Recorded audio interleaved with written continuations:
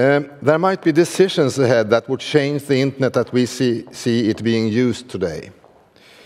Uh, the likelihood of that, I don't know, but there are definitely issues and proposals out there with presently unknown consequences. I have summoned four very competent speakers, each representing different interests and views on this subject, and we will find their background and occupation in the web program, so I don't take time to repeat that too much. The speakers are um, Vesa Terävä from the European Union Commission, and he works with regulations uh, that um, includes net neutrality, of course, uh, on the organization that is headed by Mrs. Uh, Neelie Kroes. We have Matthijs van Bergen from Bits of Freedom in Holland.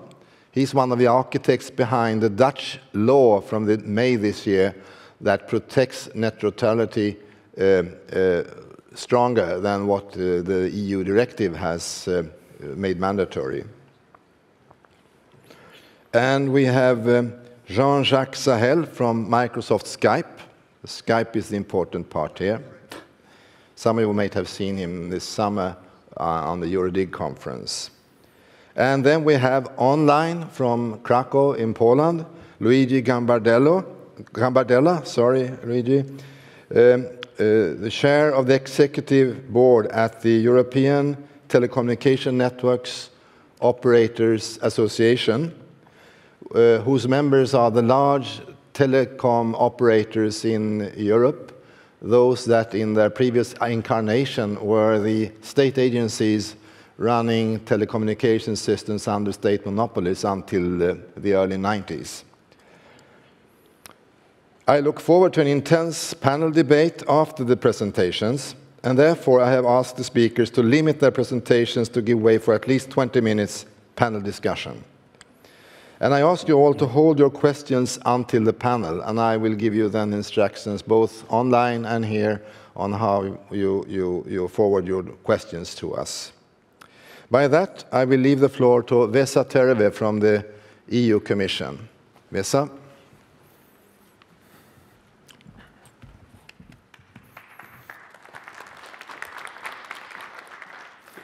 Uh, good afternoon, ladies and gentlemen. Uh, uh, Jan already mentioned uh, uh, Neelie Kroes and, uh, and her announcement on net neutrality, and I, I, believe that that is the reason why I was invited to speak here, here today.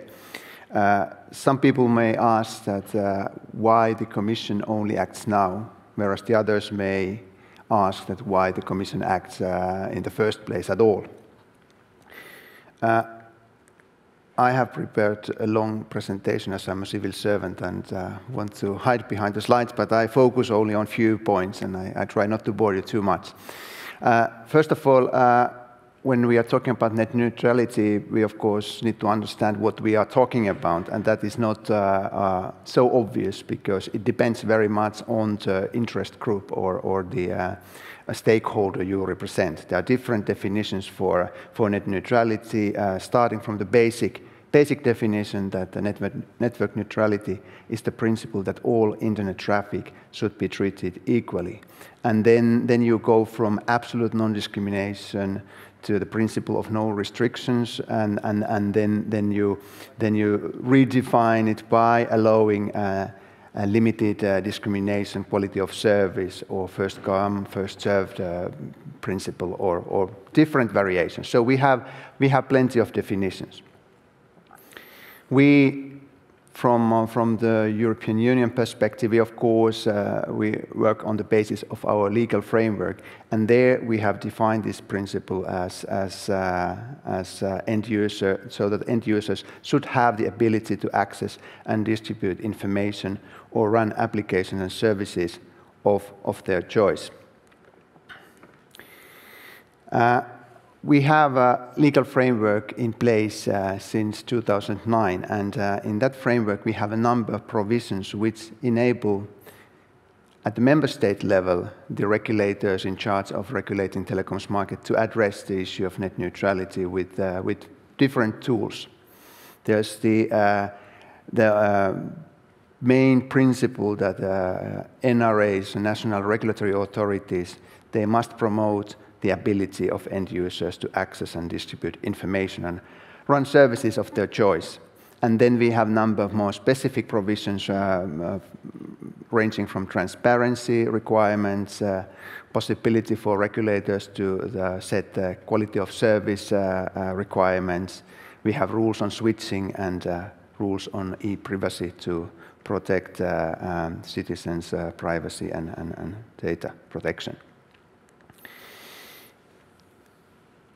I already mentioned that we have a number of definitions, and, and, and the, the, the debate o, uh, uh, on net neutrality is it's, uh, it's uh, very intensive, uh, at least uh, at the moment when, when regulators or, or whoever policymakers propose to, to intervene.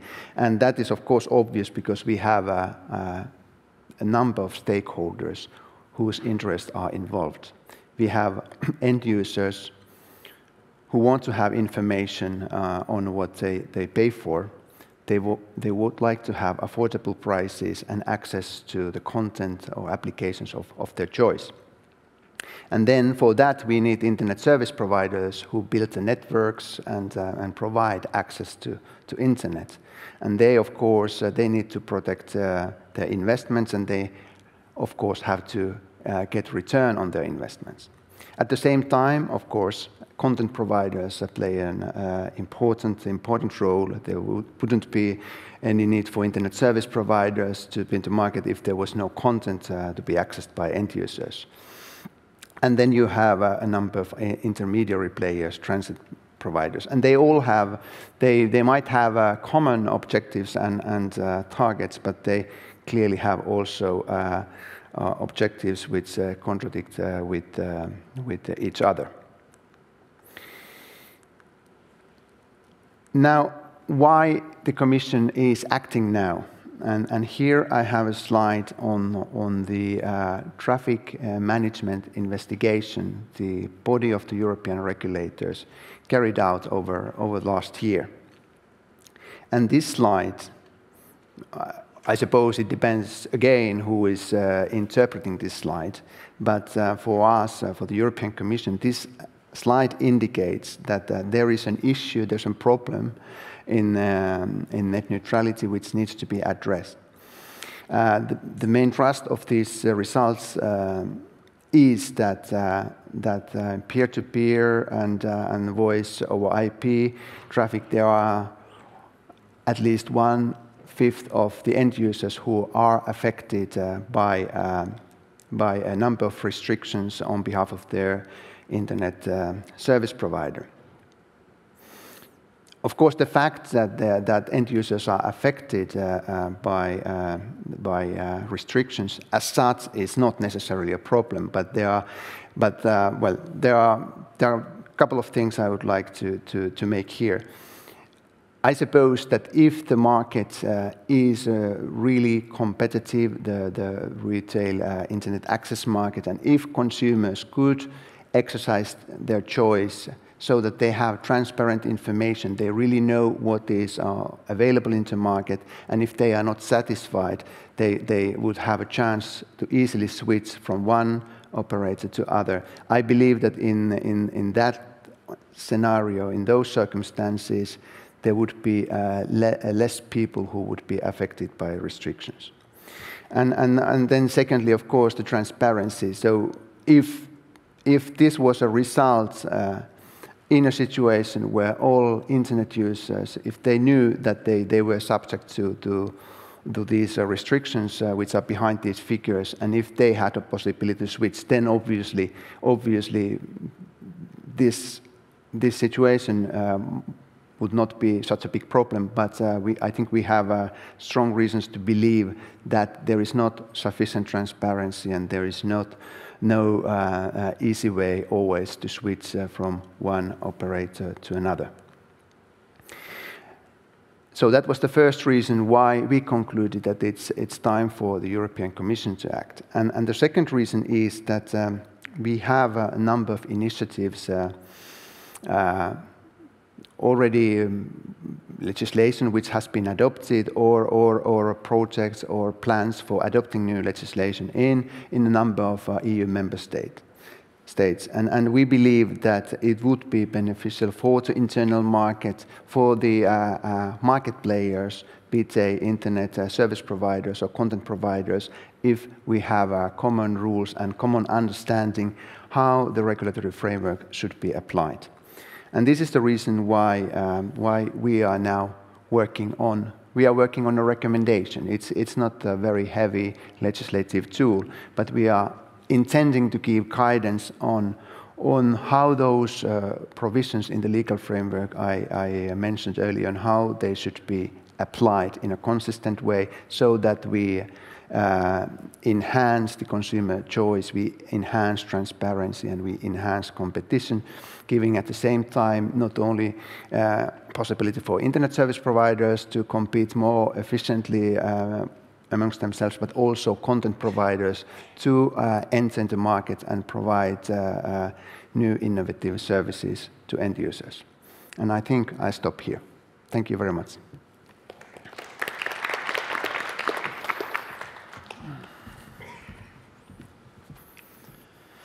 Thank you, Vesa. Uh, the next speaker then is Matthijs van Bergen from Bits of Freedom, Holland, as for the Dutch law. Thank you.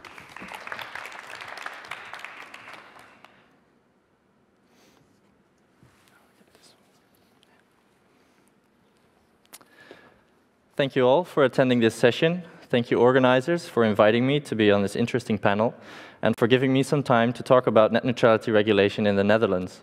Thank you co-panelists for your presentations and for listening to me now and discussing with me later. Please allow me to introduce myself very briefly. I will try to keep it very brief, but I believe that in discussions like these, it is important for all speakers to be transparent about what interests may be represented in some way within the statements and vision uh, they represent.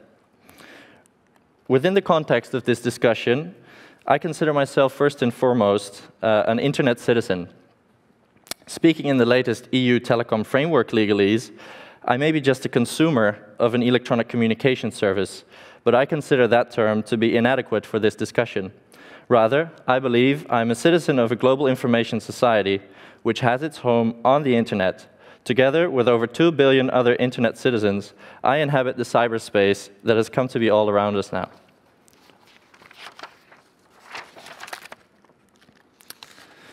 Bits of Freedom is a well-known and reputable not-for-profit foundation in the Netherlands that tries to protect civil rights of cyber citizens like me.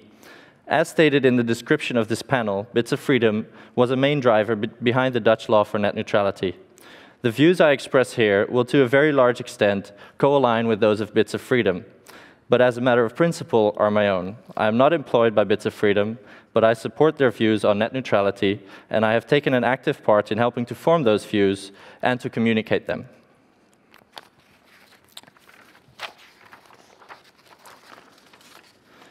In many ways, having access to the internet makes things possible that were not possible before, as Larry Lessig explained so eloquently yesterday. It has empowered so many people across the globe, and myself as well. Thanks to the internet, seven years ago, my current employer was able to found a company while he was still studying law, at the age of 22. The company was, and is, called ICT Recht. Four years ago, having the age of 22 as well, I started to work there while I was still doing my master's in information law. At the time, the company had no physical office yet, and I worked only from home. Now it has quite a nice office, but I'm still able to work from home a lot, and from abroad, thanks to the internet. In my free time, I conduct PhD research about net neutrality in relation to fundamental rights, specifically uh, the right to freedom of speech and the right to privacy. I do this at the University of Leiden.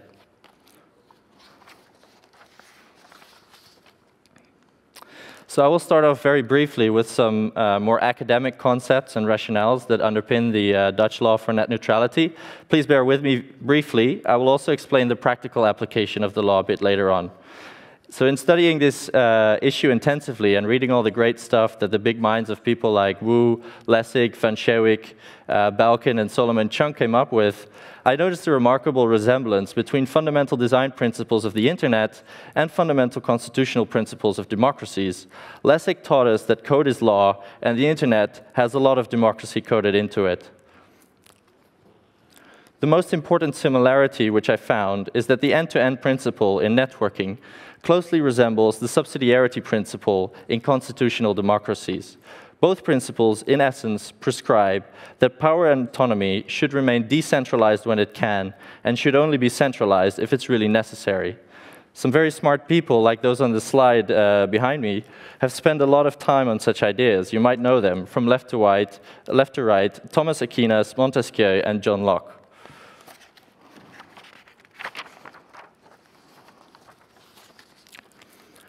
In many ancient societies, the people served their king or lord and were subject to his authority. Yes, it was usually a man too. Eventually, many countries in the world wised up. In constitutional democracies, the state serves the people. This principle was also coded into the internet. On the internet, the network serves the edges, or at least that's how it's been mostly so far. Unfortunately, over the last decade or so, internet access providers seem to have grown jealous of the Googles and Amazons of this world and have been trying to find ways to get a bigger piece of the pie. They seek ways to control over what content and services can be delivered and accessed over the internet so that they can monetize uh, the value that the applications and content present to the users what they are trying to do undermines the separation of the transport layer and the content layer of the internet, which is another strong democratic element in the technological architecture of the internet. It can be compared with the separations of power doctrine.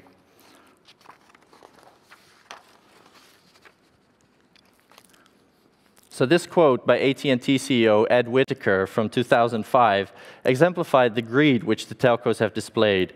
He claims that Google, Yahoo, and Vonage uh, are, quote, using my lines for free, and that's bull, uh, unquote. No, Mr. Whitacre, that's bull. The subscribers of AT&T are paying AT&T to give them access to the internet, the whole internet, and the services of Google, Yahoo, and Vonage just happen to be popular services. Content and application providers do already pay to get their stuff on the internet. Users pay access providers to get access to the internet because they want the ability to use all of those valuable online services made by other companies than the access providers themselves. In effect, Mr. Whitacre wanted to get paid twice for the same thing. Mr. Whitacre's comment intensified the debate about net neutrality in the US, where regulation was adopted in 2010.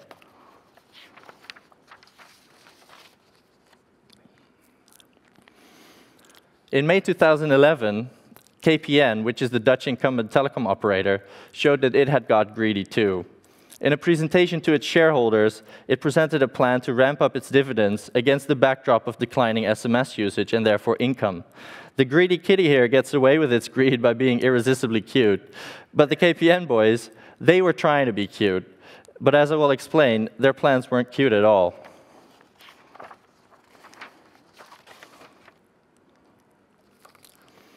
So what were their not so cute plans?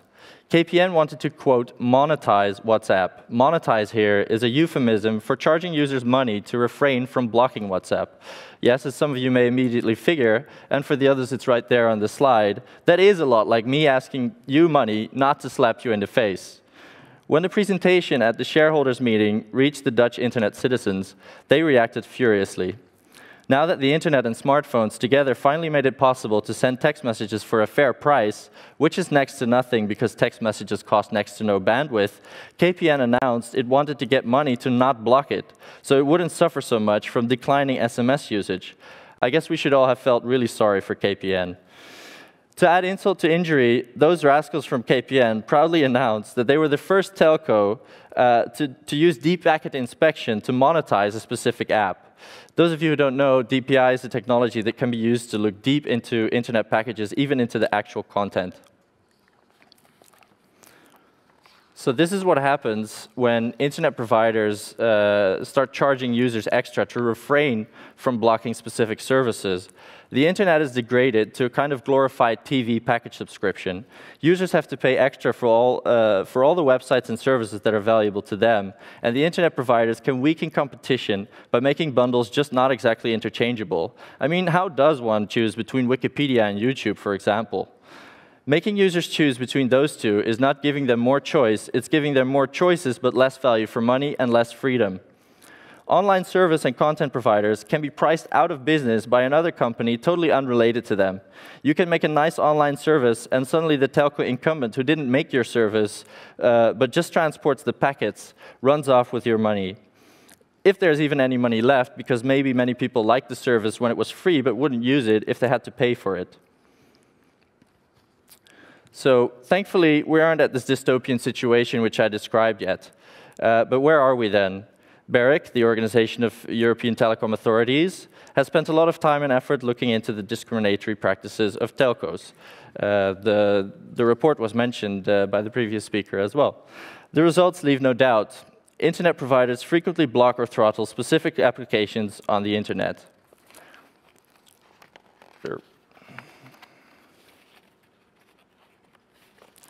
Excuse me. you can all read it, it's very big.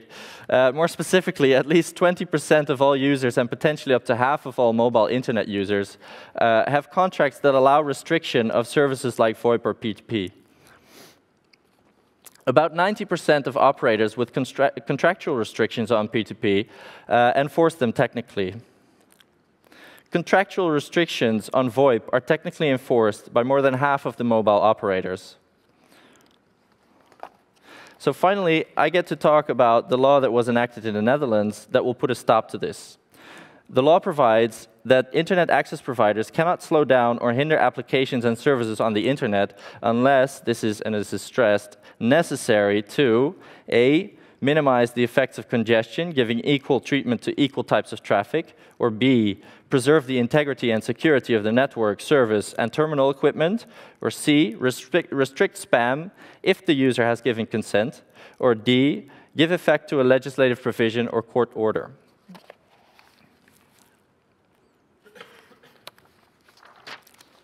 So how should this provision be applied? The explanatory memorandum explains that the law should be applied in a similar manner as how the European Court of Human Rights applies Article 10 of the European Convention on Human Rights, which protects freedom of speech. As a legal scholar, I find it very interesting, uh, very elegant, that the format of Article 10 was remixed in such a way to maximize the freedom of internet citizens. So there are five simple step, steps. the first step is to determine if the traffic is slowed down or hindered. If, uh, if not, there is no problem. If it is the case, we go to step two. The second step is to see whether such a measure, measure, is prescribed by the contract or the general terms. If the contract doesn't provide for the measure, the measure is illegal. The third step is to check if there is a legitimate aim for the measure. The aims are listed exhaustively in the law, and the purpose of the measure has to fit with at least one of those. The fourth step is to determine if the measure is actually necessary in a democratic end-to-end -end network. Can't the problem be solved at the edges? If it can, and it can be solved well, then the central measure is illegal. The fifth step is to determine the proportionality. Isn't there another measure possible that is less severe? A good example here is the Comcast case. Comcast hindered peer-to-peer -peer applications, saying it was ne necessary to mitigate congestion. However, the measures were not linked to actual congestion levels, but they were permanent. Therefore, under this test, the measure is not proportionate.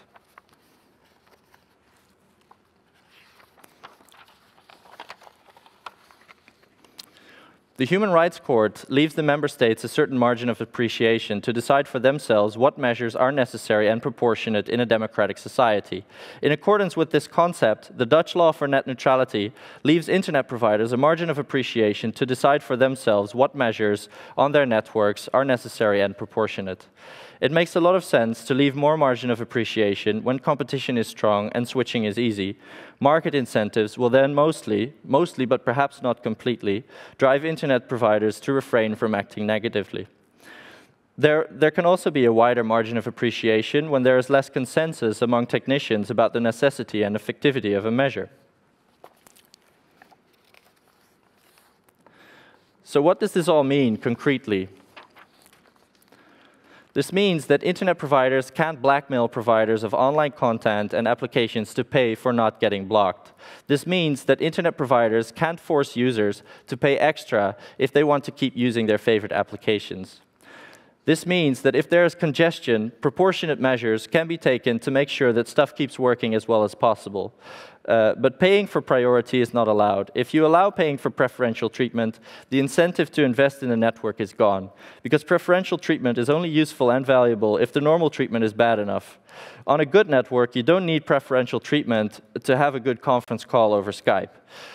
And under the Dutch law, in times of congestion, more time-critical applications on the internet, such as video calling and gaming, can be prioritized over time, less time-critical applications, such as email and file sharing.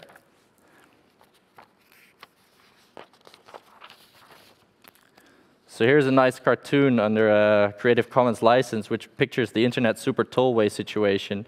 Uh, it says, the next free medium 20 years ahead. So the Dutch law does not regulate IP-based services over private IP networks, which are not internet access services. IPTV and VoIP can be offered next to the open internet, but it is not allowed to slow down or block Skype, uh, YouTube, or any other particular online service to make those separate IP services more attractive. And of course, it is always the best to let the user control as much as possible what applications have priority and when. With that, I don't mean control through picking a plan that is set for the contract term, but control like, like in having a control panel, uh, which the user can herself use to set the desired parameters for traffic management.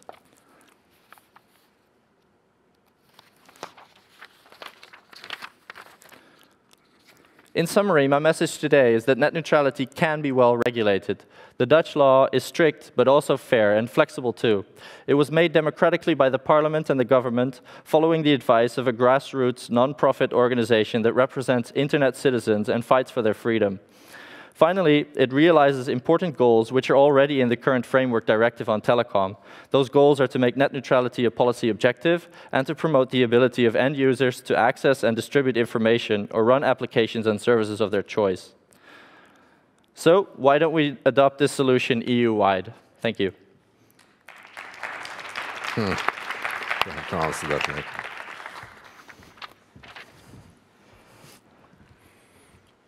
Thank you. Matthijs. And then I leave the floor to Jean-Jacques Sahel from Skype, or Microsoft Skype, rather. Go ahead, Jean-Jacques. Thank you. Thank you. Uh, good afternoon, everyone. I'm really glad to be here at Internet Days. Uh, I think this is my third uh, Internet now. Um, and that's saying something quite unfortunate, which is that I've been talking about net neutrality for far too long. And the reason is it's been going on as a problem in Europe for far too long. Uh, I don't have slides. I could almost reuse uh, bits of freedom slides.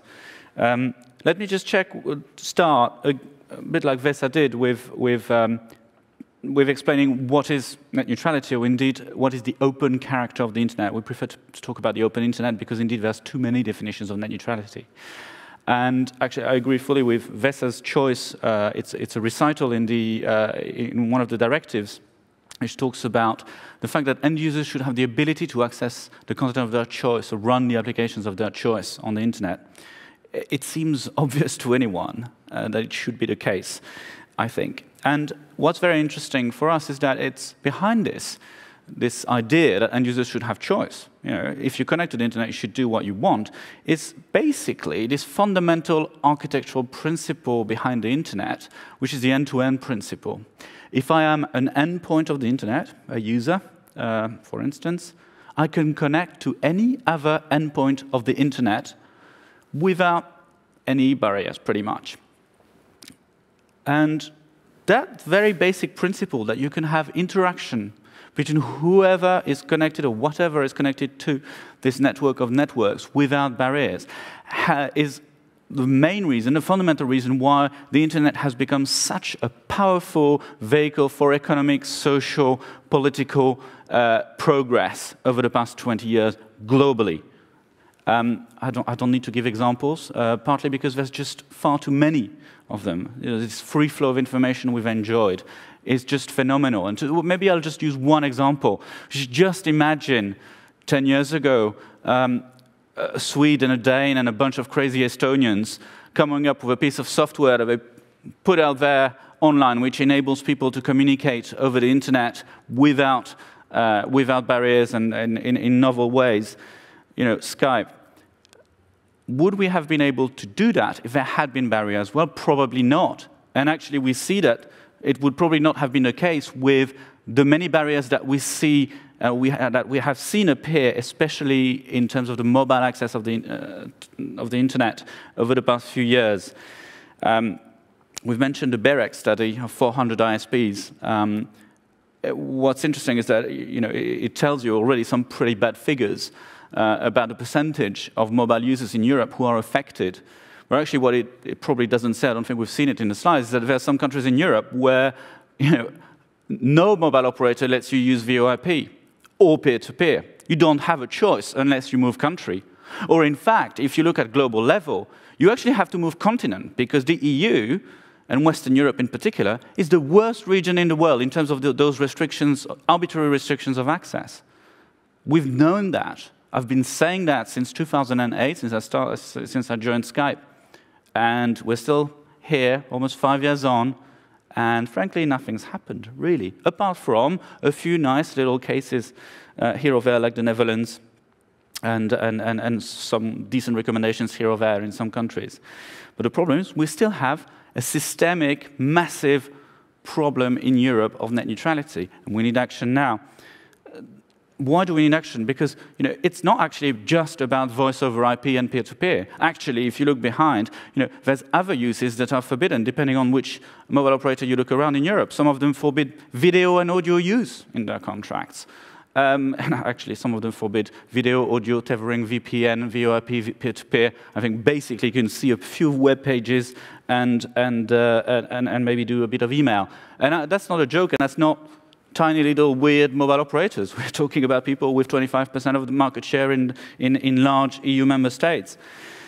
Um, what, what is even more worrying is that the trend is not stopping. Even though there's been some attention, uh, there's clearly not been enough attention. Uh, the trend is, is, is growing, and as more and more people are accessing the internet over mobile, what we risk seeing is exactly the sort of uh, scenario that, that Matthijs talked about before, which is, you know, you pay for internet access, which in fact is really just web surfing and email, but then you have to pay extra, if you're allowed, to uh, use VoIP, and then you pay extra again for video, and you pay extra again for gaming, and you pay extra again for whatever other uses. And then basically, you make the internet as we know today, at best, something which is affordable to only the richest segment of the population.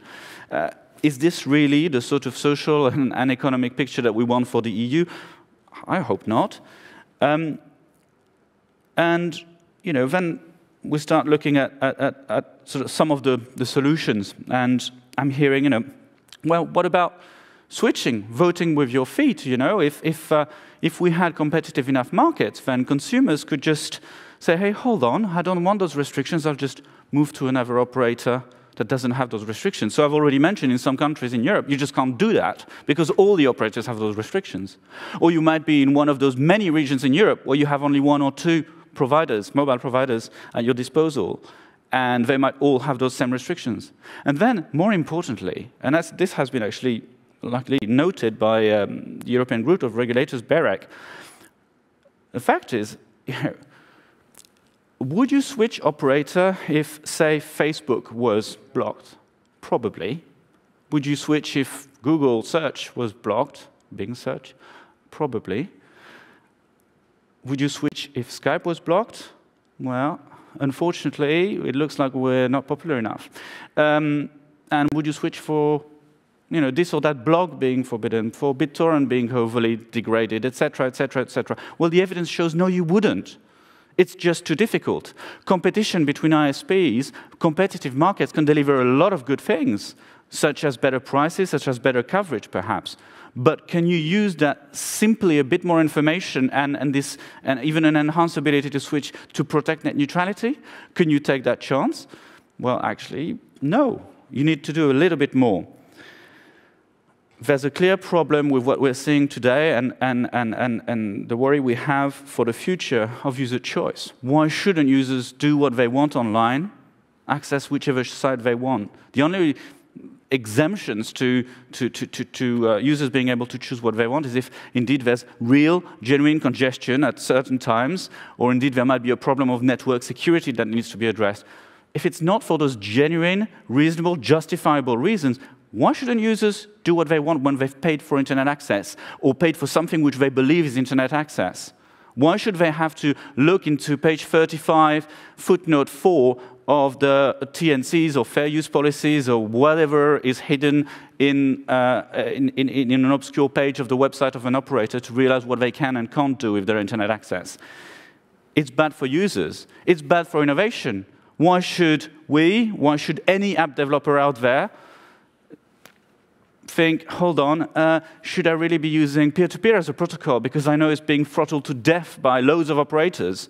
You know, we didn't see there, but there's at least one country that in Europe that was mentioned in the BEREC finding where 95% of users have got their peer-to-peer -peer degraded.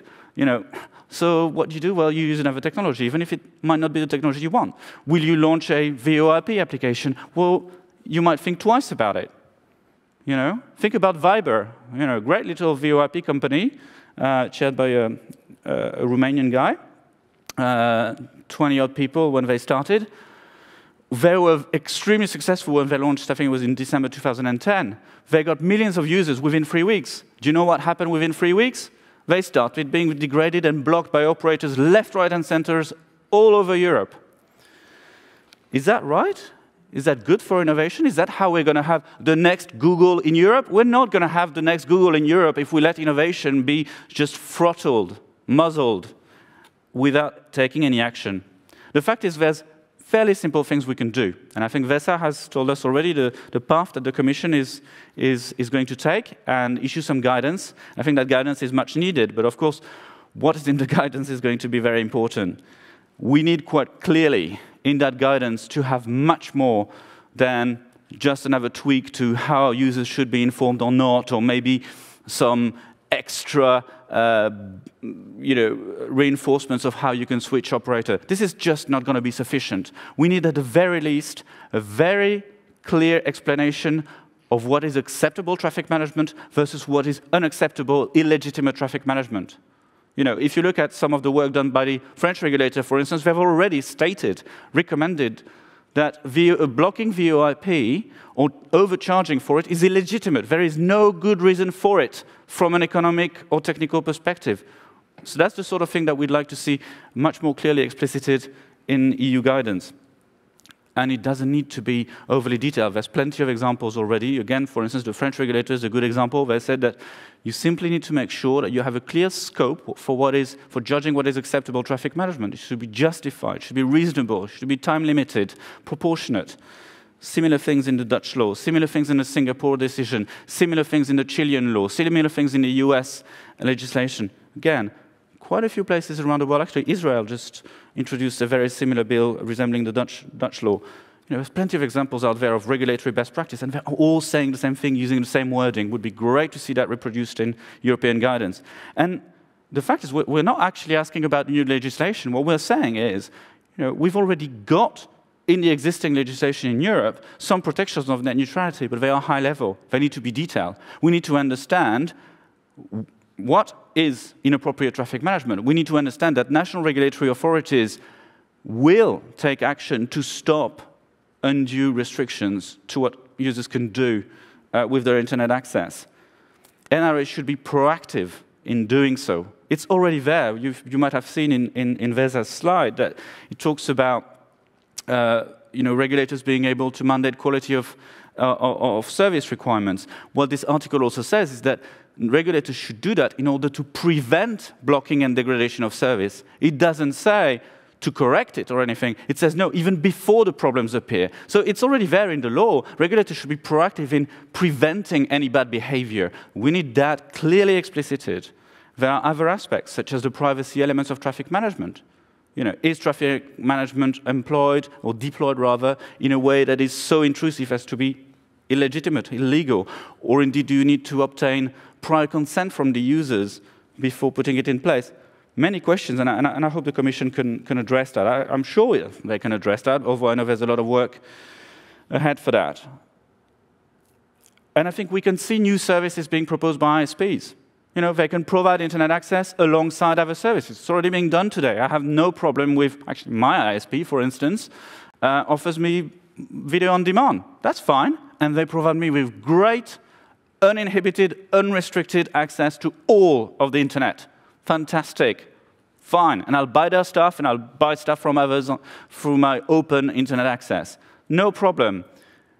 And we can have those net neutrality rules being clarified by the Commission without hurting anyone and not hurting the telecom operators in the first place. Let's think about this for a second. How are telecom operators going to make money in the future? And actually, many of them now, through internet access. How do you encourage consumers, users, to buy internet access? Do you tell them that they can buy a wonderful antenna made out of platinum or whatever, or a wonderful cable with like, the latest technology for fiber? No, you're telling them there's exciting new content, applications, and services. There's Skype video calling you can do. There's Facebook, there's Twitter, there's whatever is the latest stuff that's going to encourage people to buy internet access. So let innovation happen, protect it through net neutrality, and we can all be happy. We can have a great internet ecosystem. We can have free flow of information. We can have innovation. We can have contribution to economic growth rather than going backwards 30 to 40 years to the cable TV model. Let's show the way. We look forward to the EU making the right decision. Thank you. Thank you. Uh, I sit here so Luigi will see me. Um, and the next speaker then is Luigi Gambardella from um, uh, uh, uh, the ETNO organization, the European Telecommunication Network Operators Association, as I mentioned. And he is with us now from Krakow in Poland. And I'm very grateful to you that you um, decided to endure this uh, online uh, participation. I hope it will be as if you were here. So, Luigi, thank you. Yes. Uh, before I start, uh, I would like to thank uh, Jan and the organizer. It's not working. I have some problem. We hear you. We hear you. It's okay.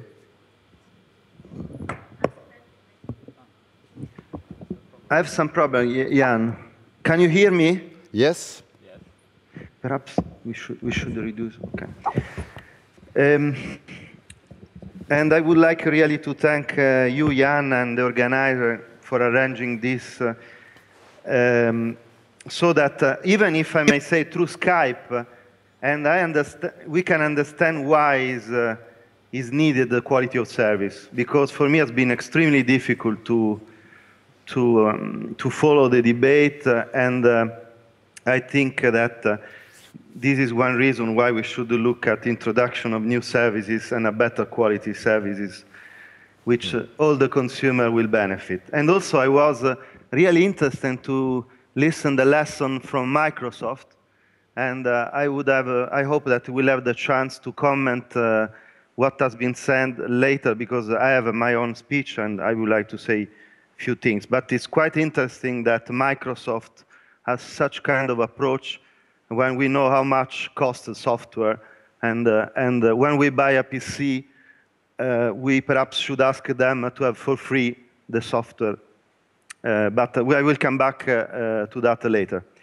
And as you know, I would have loved to have been with you in, in, in your, the beautiful city of Stockholm, but today we have our uh, ETNO General Assembly, and so therefore will not be possible for me to be there.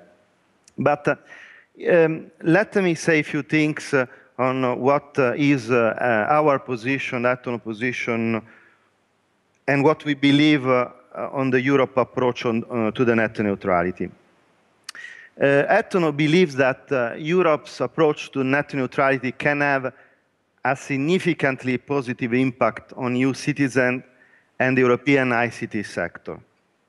EU Commissioner Neelie Kroes has repeatedly stressed the need for an EU regulatory framework which promotes private investment in next generation networks. And the reality is that investment in these smart broadband networks in Europe crucially depend upon networks operator freedom to innovate and develop a new business model in line with EU competition and consumer protection rules. ETNO advocates a holistic view of internet openness covering several dimensions. Users should be able to access any lawful content on the internet and access services and applications of their choice. Users should be able to benefit from differentiated offers in line with their individual preferences. The principles of openness, transparency, and competition should be adherent to by all players in the internet va value chain and should not be limited to operators of electronic communication networks. We as ETNO members and ETNO members are committed to providing transparent and meaningful information to end users on their services of choice and as required by the existing telecoms regulatory framework. Transparency requirements strengthen the positive effects of competition with regard to internet access service. However, transparency requirements for internet access provider must respect the fact that the access segment is just one element within the chain of interoperated networks. The quality of experience of any given end user is the result of interaction between several actors along the value chain and, it, and ETNO believes that all actors have a shared responsibility. Although interest in this issue has grown in the last couple of years, the use of traffic management techniques is not, is not new. It has been and continues to be a vital tool in supporting the efficient and secure operation of the internet and providing a good quality of experience for the end user. Network management is an indispensable means to control network congestion in view of rapidly increasing IP data traffic volumes, and importantly, it can be done without analyzing the actual content that is transmitted and not affecting citizen fundamental rights such as the freedom of expression. ETNO simply wants to avoid decisions that would prevent new business models from emerging or that would hamper differentiated offers, hence limiting consumer choice. The risk of undesirable economic and technical regulation of operator rates, terms, and conditions will be much higher if the development of internet continue to be jeopardized by the lack of sustainability and or by the lack of end consumer satisfaction. From a technical point of view, it's clear that networks are evolving towards an all IP platform where quality of service is becoming a central element in the provision of access and content services. Quality of service is needed.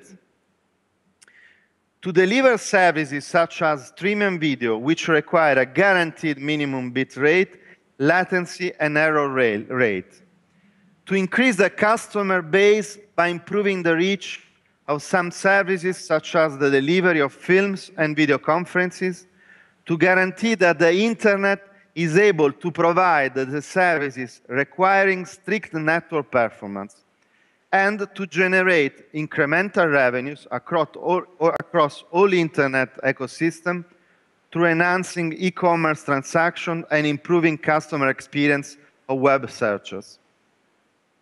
One final important point. No one will ever be cut from the internet. as a result of what ETNO is proposing.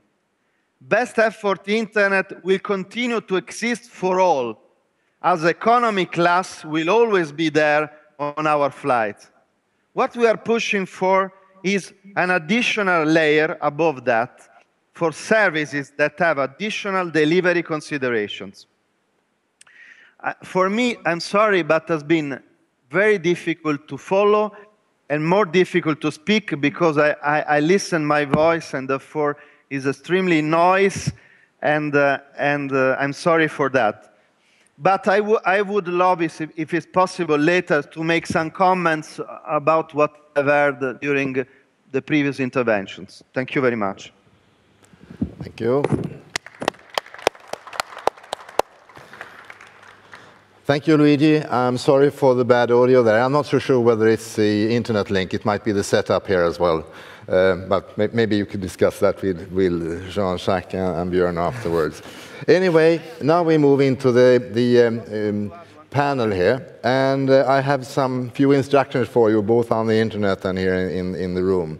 Um, uh, we will take questions from the floor, and there, there, will be a microphone available then. So just wave, and someone will, will hand over a microphone to you then, because that is important both for Luigi, to hear and the web, for the webcast. Um, uh, for you on, that, are, that are the online audience, um, we use two hashtags. One hashtag is the IND12. You've probably already seen that on, on Twitter. Uh, that is the hashtag for the full conference.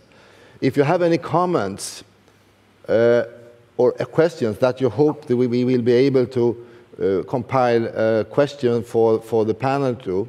I have two, two um, friends at the Internet Society Sweden chapter here, Lars and Linda, that will follow those hashtags, and they will communicate with me without any filtering on the internet uh, up to this one.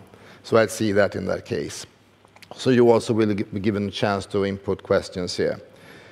Uh, so that's, that's the instruction then for, for, for, for, for the panel discussion here. And we'll try to keep... Uh, yeah, the, the, it would yes? be possible... Yes? May I make, it would be possible to make one comment before we start with questions? Yeah, I just wanted to say that when you have something then during the panel, yes. just wave at me. I will see you all the time, so I will see you here. yeah, because... Yeah. Okay if it's possible, I would, I would like to make this comment because I think it's important to have a, common understanding of the situation. Otherwise, uh, it is difficult to, to, to I make it to, the, to, the, um, to have such kind of discussion. Uh, what has happened? What is happening? That clearly there is a, a clash. There are several clash.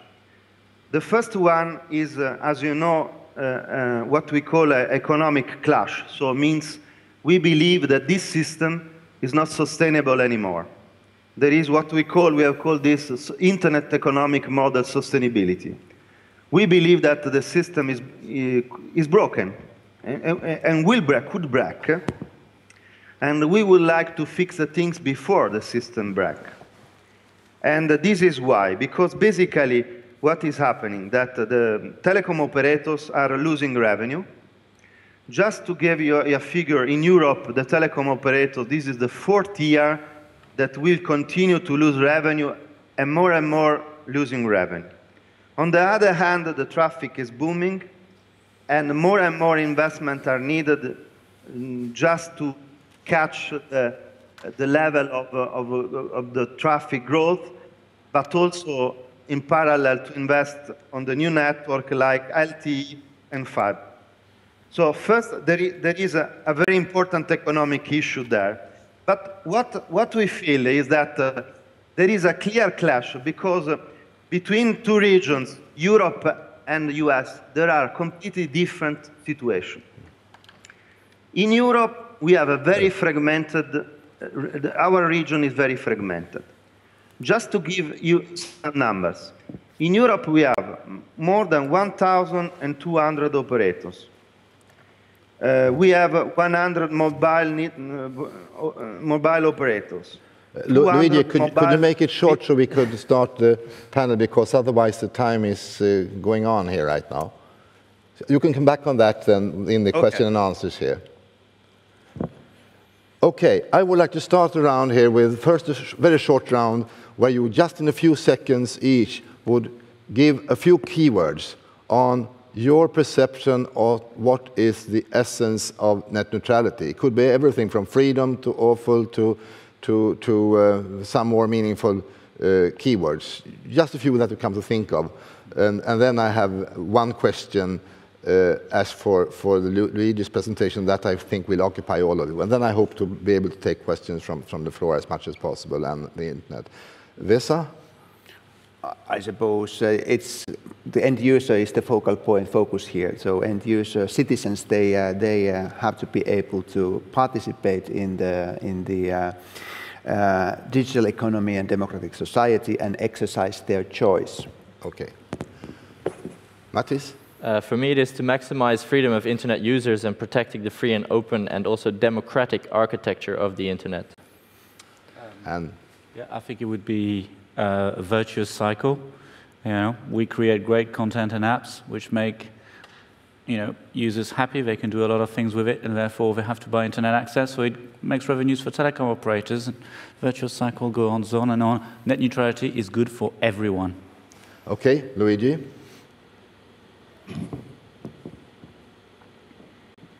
A few keywords right now. What, what is the important thing for net neutrality as you see it, with a few, few keywords only? No, then the questions. For us, there are two, key, two keywords. First, transparency.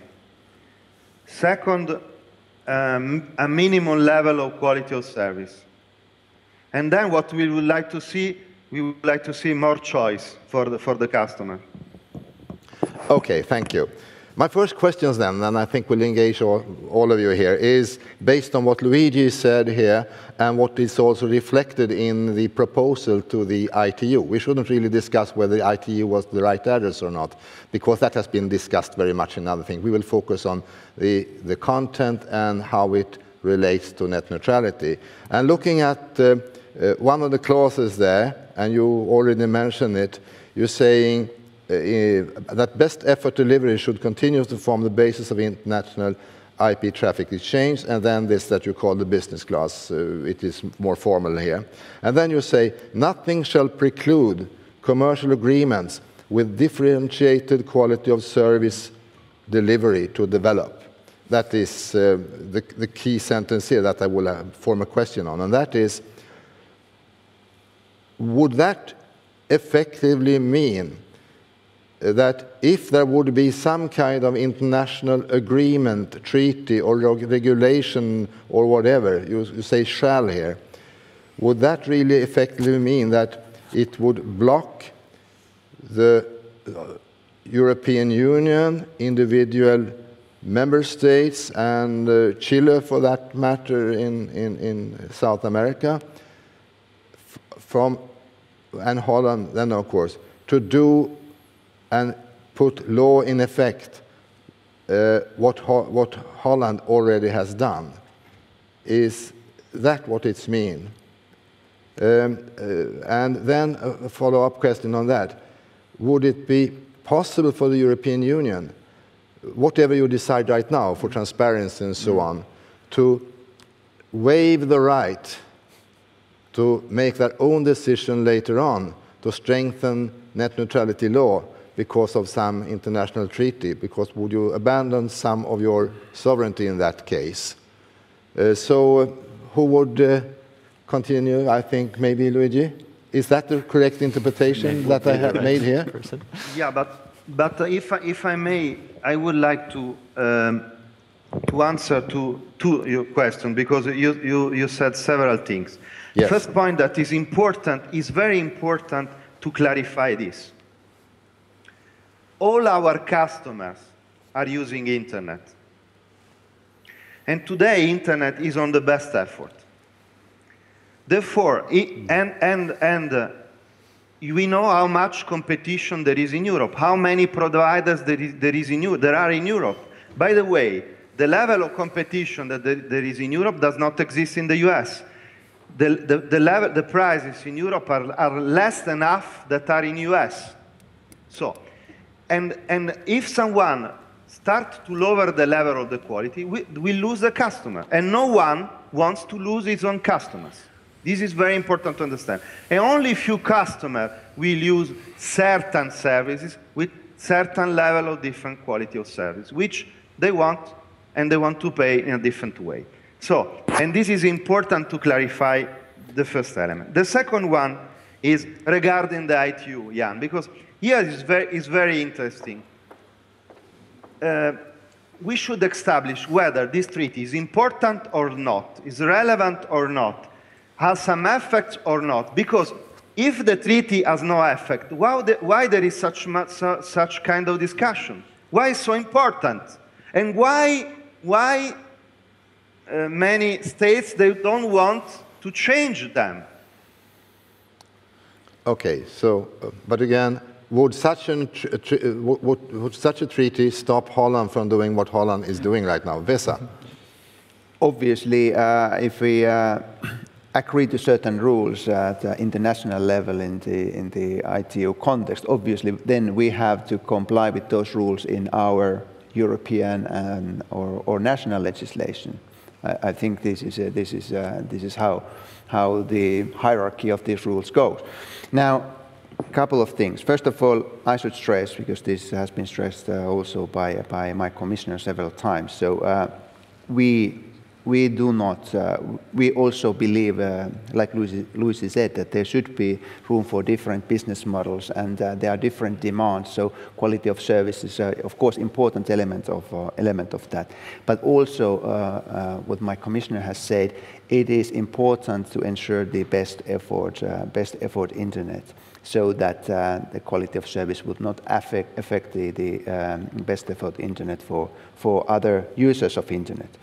And, and then what, what, uh, um, what you mentioned about the, the ETNO, ETNO proposal, already I, I see their contradiction if you say that nothing shall preclude. That for me means that then there is no way that uh, we can guarantee the best effort internet if there's nothing which shall pre preclude, because there might be circumstances that you really have to ensure that if you provide quality of service, that at the same time uh, you uh, ensure also the best effort internet. And if there is something which uh, nothing precludes, then I think hand, our hands are tied.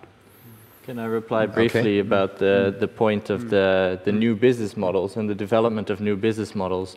Because I think the Dutch rules do not stifle positive new business models at all. It only stifles the negative ones, the ones I mentioned in my presentation, where effectively content providers are being blackmailed to pay money not to be blocked. This, this is also a new business model. It is called the Tony Soprano way of networking, and it should not be allowed. Okay, Jean-Jacques. Just briefly, I think I made the point quickly during my presentation.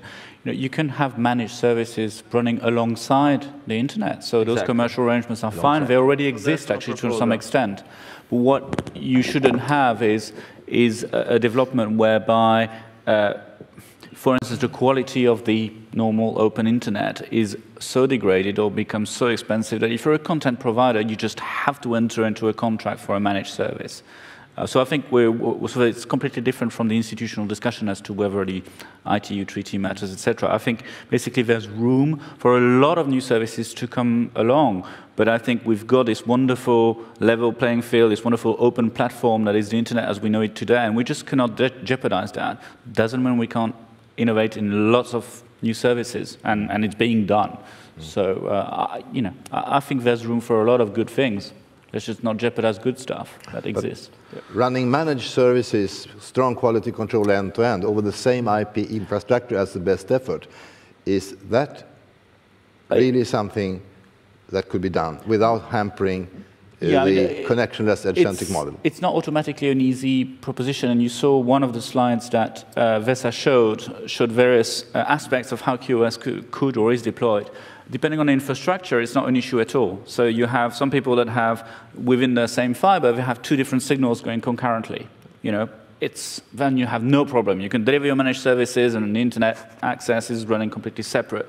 Or you could, it could go through the same route. I think on mobile, mobile will be mobile access to the internet if there are ever managed services, which will be interesting to see how that's developed. And I think you know, we'll have to see as that develops that indeed the, the, the, there's no an overly negative impact on the delivery of the internet. I think it, mm-hmm. that's why if we are, when we have guidance, I think it will be important that this guidance is not so specific that it, it, it, um, it stops anything, mm-hmm. but rather that it gives a good scope of, of what, is, what is appropriate. That basically we understand, you know, basically the best efforts internet should remain the norm, that you have all sorts of other mm-hmm. stuff on the side, fine, but you, you know, basically let's, let's again keep that open platform working pretty well.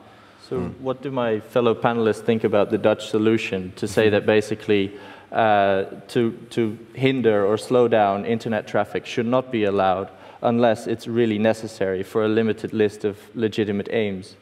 Do the co-panelists see any, uh, me any merit in this uh, solution? Because it's, I think it's very flexible and can be applied very effectively. I actually would, I would agree with that. I think a lot of people haven't read the full, the full uh, Dutch law, so they don't realize how balanced it is.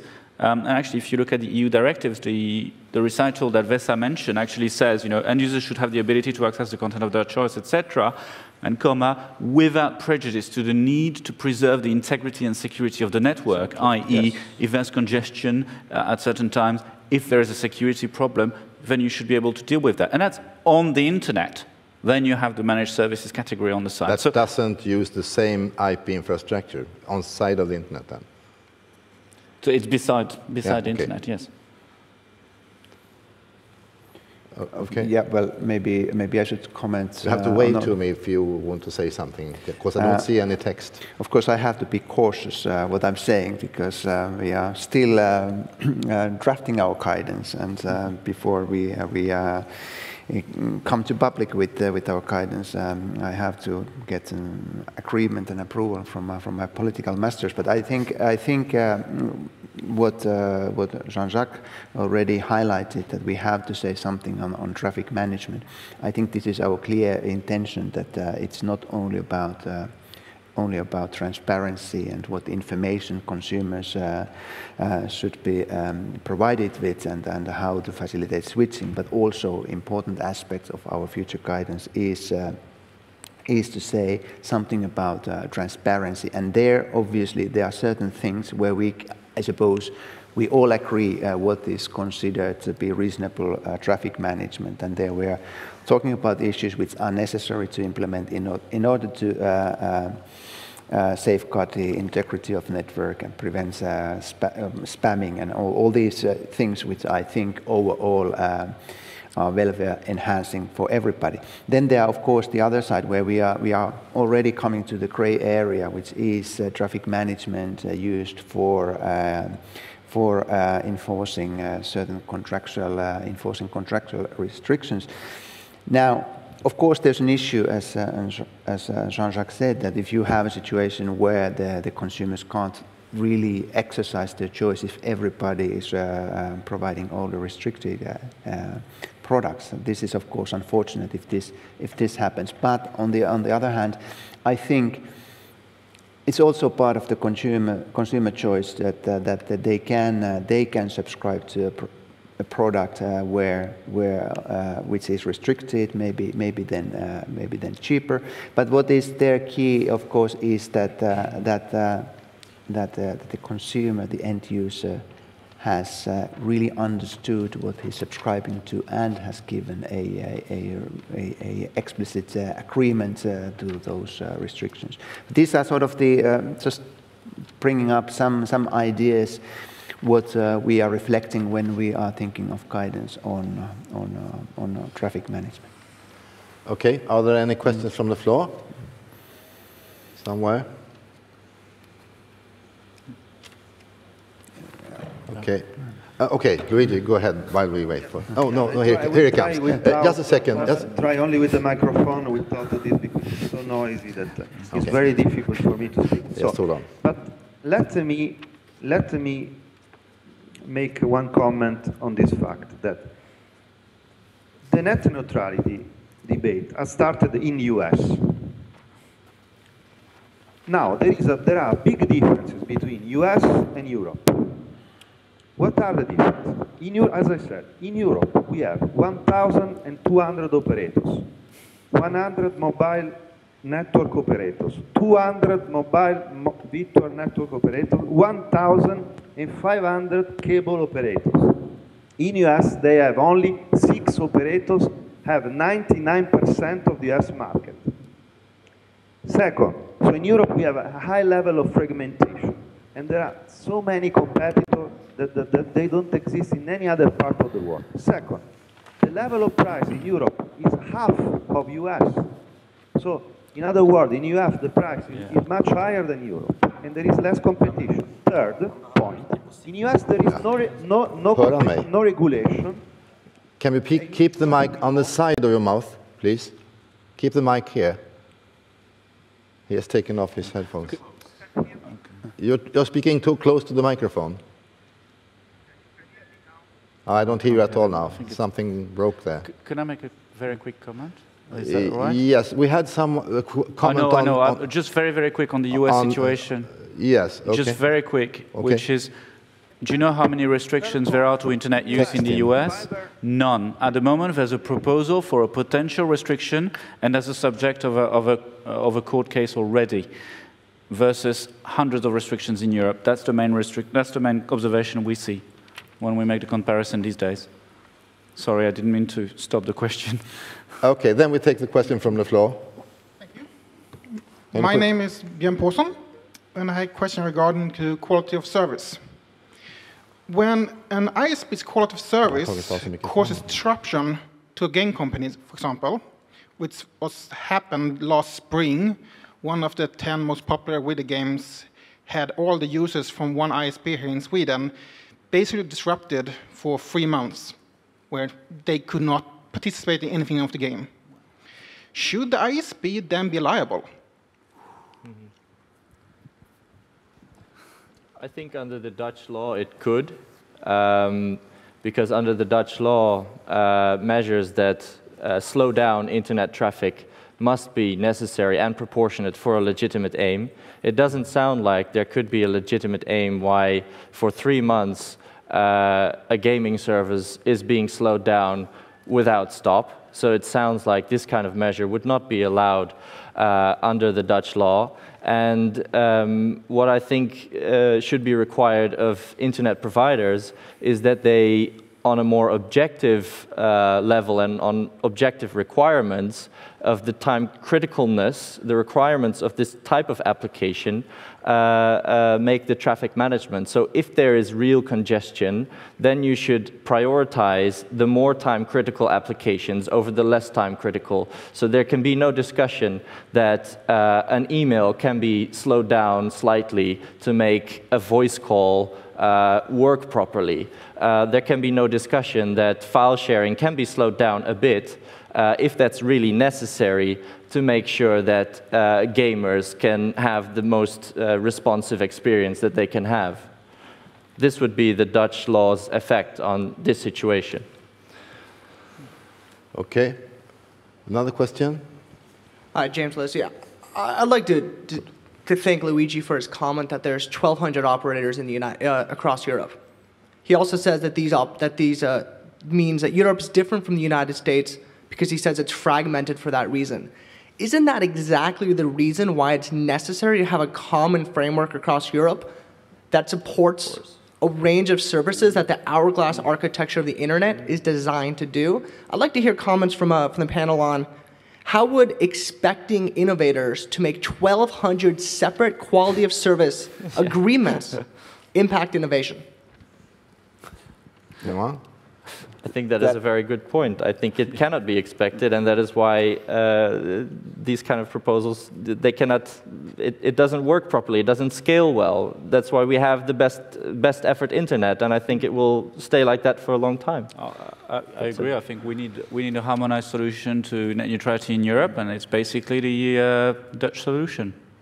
uh, okay, I, I, I also uh, believe that, um, well, let's put it this way, that the rules should be applied uh, consistently in, uh, in a consistent uh, manner. But of course, the fact that we have a very fragmented market, it of course goes well beyond the net neutrality discussion. I think the, the reasons for that are elsewhere. It's, uh, it's well, there are regulatory reasons. We still uh, have, we regulate markets uh, not only on net neutrality, but uh, on, on, all aspects on the national basis. We have national authorization scheme for operators. So there are plenty of regulatory barriers which make the market fragmented. And then, then there's, of course, I, I think one which is a, it's, it's has uh, nothing to do with the regulation. Well, we still have national, even if the regulation was uh, consistent, well, well, we still have a national circumstance. The demand structures is different. Uh, oh, there, there, there, are plenty of economic reasons why, why the market is uh, fragmented. But of course, the regulation and all the European regulations aims at uh, lowering these, um, no. these uh, differences. Can I just quickly mm. add? Mm. I, I, don't think it's a bad thing that the market is fragmented mm. in the sense of having 1,200 ISPs. I'm very glad that there's 1,200 ISPs. It's wonderful if you can have ISPs that are a three-man band versus big multinationals. That's great that's a different story, to, uh, different from having harmonized uh, solutions and protections of net neutrality. Okay, uh, we are slightly over time. I have just one final question for you, Vesa. Um, if you now try to increase the transparency and increase, of, in, increase the possibility of switching, so you'll get uh, to the operator that gives you the, the, the service that you want to. Uh, since we see that virtually all uh, internet access providers in Europe also are telecommunication operators that are running telecommunication switching systems on the side, so to speak. And that is mm. a potential mm. um, conflict commercially with Skype, for example. And then we have uh, the, the, movie industry coming into not managed services, but over the internet. And some of them also runs cable TV. Uh, with that same interest from all the operators to protect some other of their business, is it really possible to, to, to, to get to a meaningful, meaningful choice for the users then, when they all have the same technology and the same business on the side to protect? Well, as I, as I said, I mean, I think we all agree that we have to do something on transparency and switching, and we have to give a competition a chance. But uh, but uh, this is probably not enough. So we have to do also also something else. And it's not only that what we are saying about uh, traffic traffic management. I think it's the whole whole the regulatory landscape where we have to take this into account. Yes. Um, okay. I would like to add to that uh, a little bit, uh, going on the analogy uh, between democracy and the democracy in the internet. Uh, just like in constitutional democracies, the right to vote alone is not enough. You need constitutional rights and legal safeguards of constitutional rights. Uh, the same applies to the internet. Uh, the right to vote is not enough. You need strong legal protection to protect the user's interest and freedom. Good okay. point. Uh, just to finish, I hope that next year I come to Internetdagarna to speak about something else than net neutrality, and that I'll be instead in the bar drinking champagne with all of you to congratulate the European Commission for its great guidance protecting net neutrality. Yes, okay. Um, by then, I think we have to round this off now. Um, since we are um, 10 minutes over time here now, this is the last session of, of, of, of the conference. Um, we don't have time to look into uh, another thing that has been heavily debated in this, in, in, in, on the internet, and that is the proposal from Luigi from, from ETNO uh, about uh, the payment system, where the uh, sending party network pays to the receiving party network and the implications that might have on net neutrality. There are a lot of discussions on that on the internet. But there will be many more forums, and um, I'm very gra grateful to you. Okay, uh, uh, I don't hear you right now. Could you turn off, on his microphone? Just hang on a second. You hear me? Yes. Uh, okay, now, I, now we hear you. May, may I add one comment? That yes. This. Apart uh, the fragmentation that has been discussed, and I think has been recognized that is a, is a big difference with US. There are, I would like to make also, there is a problem because we have a, a, a, different treatment from the same service is considered in a in different way. I will make an example. IP interconnection. And, and Vesa is there. Uh, Vesa is there. Uh, according to the EU regulation, the EU framework, the IP interconnection is a telecom service. It's within the European Communication Service. According to the US regulation, is not a telecom service. So you see that there are a lot of uh, issues that should be discussed, and we should decide whether is a telecom service, is not a telecom service, and we should have the same treatment. Yes, okay. There is a lot of discussion now what is in the, uh, how the definition of the international telecommunication regulation should be changed because right now data processing in ICT is not within the regulation and that is one thing that is up from many countries because it's the countries there that discuss. Otherwise, others can just propose to the countries to put it up. Uh, but that is a, a WCIT uh, session and we don't have that here now and we don't have time. I do thank you all for for, for, for, for, for, for your inputs here, and especially to Lu Luigi that uh, uh, endured to take your time to try this. And we have heard you well, very good quality, mm. um, and um, uh, sorry for the, for, for, for the mix-up here with, with, with the sound from your side and so on. But we have gotten your message as well, and it was good that you had the opportunity, because I wanted to have all sides to be able to argue their case much. here. I mean, I ISOC myself, so I have an opinion, but much. I'm trying to be a neutral moderator. Thank you.